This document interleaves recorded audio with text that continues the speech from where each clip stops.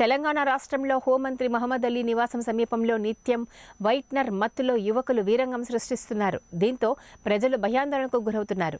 అప్పుడప్పుడు పోలీసులు చర్యలు తీసుకుంటున్నా యువకుల ఆగడాలు మాత్రం ఆగడం లేదు. తాజాగా మంగళవారం రాత్రి ఇద్దరు యువకులు వైట్నర్ మత్తులో హంగామా సృష్టించారు.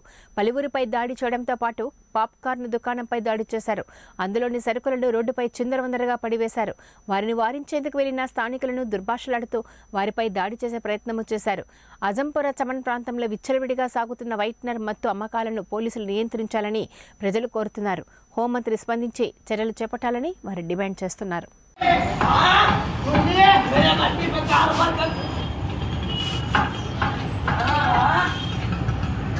देखने भाया कार्बन के